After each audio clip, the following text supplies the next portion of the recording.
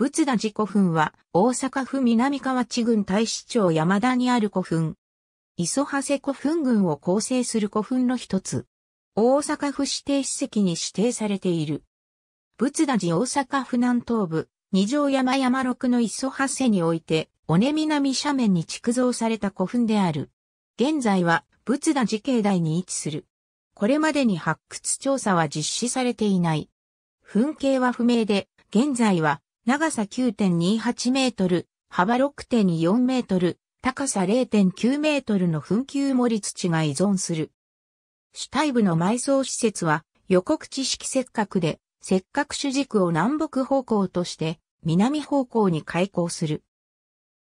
石角は長さ2.19メートル、幅1.2メートル、内包長1.92メートルを測る。業海岸の巨石をくり抜いた家型石棺状の石棺式石室であり、南側小口面には幅0.77メートルの入り口がうがたれ、扉石がはめられる。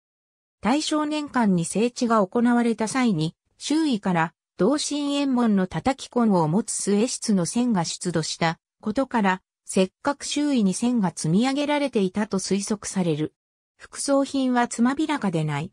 この仏田寺古墳は古墳時代終末期の7世紀中央頃の築造と推定される。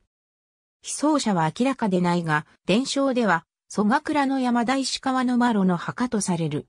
古墳域は1972年に大阪府指定史跡に指定されている。なお、付近では松井塚古墳の所在が知られる。ありがとうございます。